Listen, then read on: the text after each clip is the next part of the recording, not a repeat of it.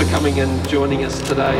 Today we're announcing Night Rider. It's a new service between Auckland and Wellington. Each seat will be sold at $29, every single seat on the aircraft. It's the first time in New Zealand that we've seen an entire flight sold on an ongoing basis. Wellington is the hub for our domestic operation and the addition of these services will add 100,000 seats per year to the Auckland Wellington market.